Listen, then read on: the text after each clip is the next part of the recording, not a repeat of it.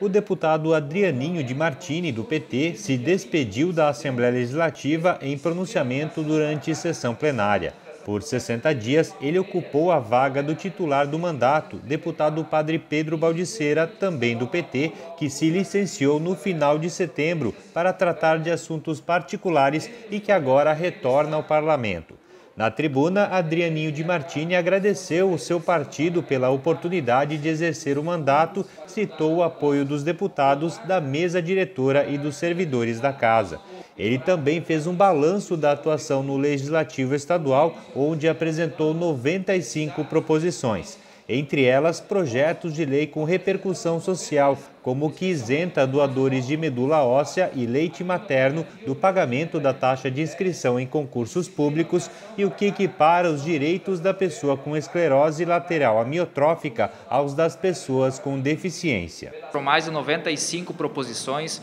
oito projetos de lei de vários assuntos que apresentamos, que ficarão aqui sementes lançadas na Assembleia Legislativa da nossa estada, do nosso trabalho, que os deputados darão continuidade na sequência. Foi muito importante a nossa estada aqui porque valoriza os deputados suplentes para poder apresentar suas ideias, apresentar os debates regionais, especialmente a representação da nossa região de Xanxerê, do Grande Oeste Catarinense, que teve uma representação efetiva nesse espaço.